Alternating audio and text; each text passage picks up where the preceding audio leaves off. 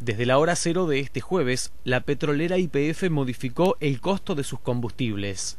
La decisión llegó luego de los aumentos registrados la semana anterior por la firma ESO y también Petrobras.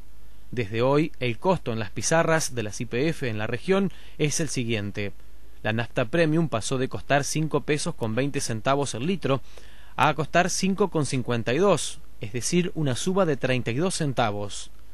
La nafta super también modificó sus valores, de 4.39 a 4.62 el litro, lo que representó una suba de 23 centavos. El gasoil también modificó sus valores. El especial aumentó 28 centavos, de 4,59 a 4,87 y el gasoil común también se modificó de 3 pesos con 55 a 3 pesos con 70, es decir, un incremento de 15 centavos el litro. Más allá de estos nuevos aumentos, la petrolera YPF sigue siendo la de más bajos costos en el mercado.